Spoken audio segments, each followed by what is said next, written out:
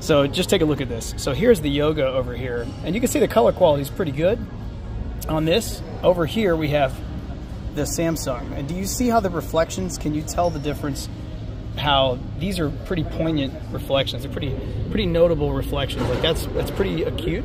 Over here, you've got just a, a subtle, it's, it's just dimmer. You see what I'm saying?